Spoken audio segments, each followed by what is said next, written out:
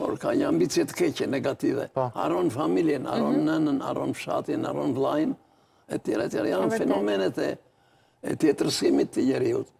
Fenomene që i takojnë shoqërisë moderne, shqiptare, të shekullit të njëzet, qoftë në komunizëm, qoftë në post-komunizëm, se si transformohet njeriu dhe si harron rrënjët e tija, ose shoqërinë e vet, dhe bëhet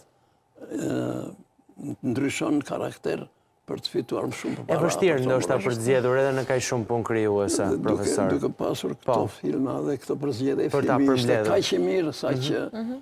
nuk e di për ç'arsye, po më duket se ishte dërguar dhe në Venecia, si jashtë konkursit dhe ishte i subtitruar në italisht. Pasquale Spadola ishte bashkëpunëtor i Michele Placidos gjatë filmit Lamerica në Shqipëri mhm. dhe unë isha njohur me të. Ai ishte, si me thënë, menaxheri kryesor i Michele Placidos. Po. Dhe në vitin 1996 më merr në telefon dhe më thotë Piro, neve këtu në Raguza, në Sicili, në një qytet të bukur, mesjetar italian, mhm. do përkujtojmë qindvjetorin e kinemas botërore. Duam të të shfaqim disa filma që për publikun sicilian, siç është Lamerica, ku ti ke luajtur bashkë me Mikelen, po po të ketë mundësi gjej dhe një regjizor tjetër dhe një film tjetër.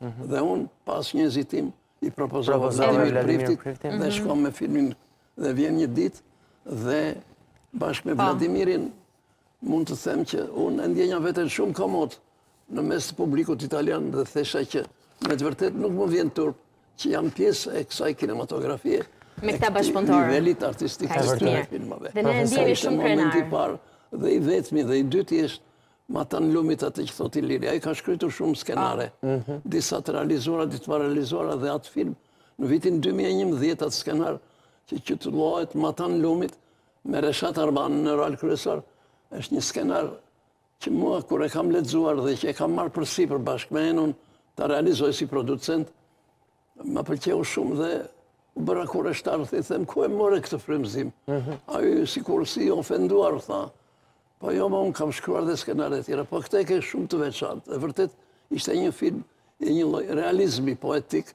si mhm. ato filmat e Amerikës Latine, midis reales dhe ireales midis jetës dhe vdekjes, si të them, aty ishte një një personazh si i vetmuar, i trishtuar që jeton në një kampers në një në një rulotë buzë buzë Vjosës. Nuk do harrohet. Po, dhe ju e dini vetë. Ëndërron, ëndërron dikë, ëndërron t'i kthehet djali prej emigracioni. Mos harrojmë që Vladimiri pati dramë familjare, si gjithë ne. Jo si gjithë ne, po një pjesë. Djali i iku i vogël 14 vjeç. Iku në Itali, e sot vjen të përcjell baban e tij.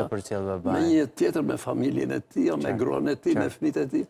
Po atë dramë Vladimiri e ka ndjerë. E ka sjell edhe në... E ka sjell shumë bukur shkruar. Dhe mund t'ju them një gjë që ai film i atij Sabir Kanaqit, një djaloshi simpatik të talentuar nga Maliqi, që mbaroi shkollën Marubi, që ishte studenti i Vladimir Priftit, Jo vetëm në disa festivale ndërkombëtare fitoi çmime, në PriFest kam qenë prezent vetë, kur, po, mori çmimin e madh, por dhe në Casablanca, i erdhi lajmi që Reshat Arbana u cilësua nga juria ndërkombëtare aktori më i mirë dhe i erdhi Reshatit Diploma dhe një zarf me 2000 euro. Dhe këto janë emocione që sigurisht për shkak të... Profesor, e di që nuk do ndalemi dot shumë gjatë, prandaj është e pamundur, po ju falenderojmë shumë që erdhët dhe e kujtuat sot me ne, po, Vladimir Priftin. Ngushëllime edhe njëherë familjes për këtë humbje të madhe, megjithatë ai ka lënë vepra të mëdha artistike. Ne i kërkojmë shumë ndjesë Esmeralda Mulës, koleges tonë që vjen pas pak, por ishte normalisht. Mm. Mirëkuptohet e gjithë biseda e gjatë.